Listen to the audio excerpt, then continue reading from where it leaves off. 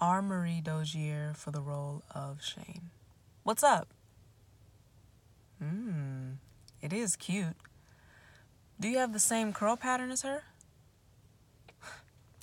Kayla wants to style her hair in a wash and go tonight. You know what? Maybe I'll try a wash and go tonight too. try something new. We won't.